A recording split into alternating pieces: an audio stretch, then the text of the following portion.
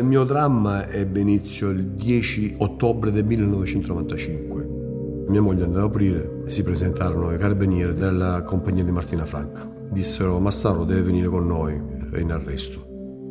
L'accusa era di aver ucciso un mio fraterno amico. Suonò la campanella, tutti ascoltano la sentenza, che invece della soluzione mi condannò a 24 anni di reclusione.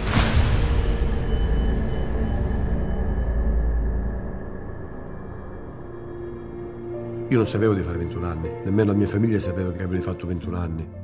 La ferita che subisce una persona che è stata vittima di un errore giudiziario non è facilmente rimarginabile. Abbiamo incontrato Angelo Massaro e ci è parso subito un alieno. È come rivedere un film a distanza di vent'anni e tu vedi che tante cose sono cambiate.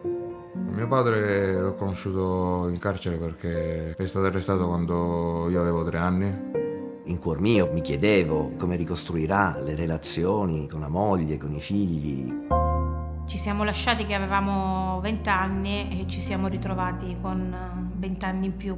Io sono cambiata, Angelo pure è cambiato. È questo che mi fa rabbia. Perché io sono stato condannato ingiustamente. Insieme a me hanno condannato la mia famiglia. È una vita di merda.